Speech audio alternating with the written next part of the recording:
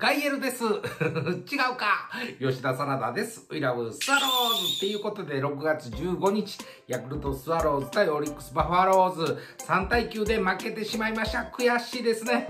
昨日ね、奥川投手で勝って、その勢いで行きたかったんですけど、まあ今日はね、先発のサイスニード投手が、まあ崩れちゃったんで、先発があんだけ崩れたら、まあまあまあ仕方ないなと思いました。打つ方はね、打ってくれたんですよ。めっちゃ打ってくれたんですけど、残塁が多すぎる12残塁ですか。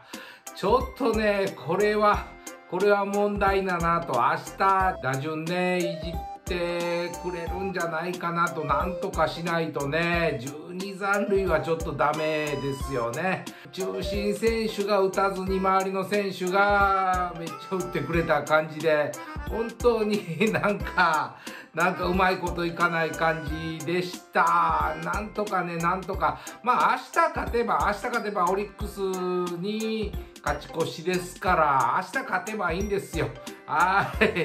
明日ね、えー、ヤフーレ投手です。ヤフーレ投手で勝ってくれればね、いいんですけども、まあまあでも今日の試合、一番僕が心配なのは清水投手ですよね。清水投手。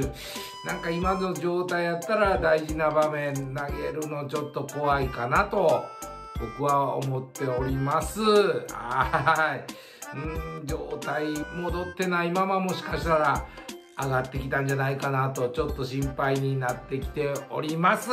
まあ明日以降ちょっと頑張ってもらいたいと思います。えー、本日は以上です。ゴーゴースワローズ明日とにかく明日かと。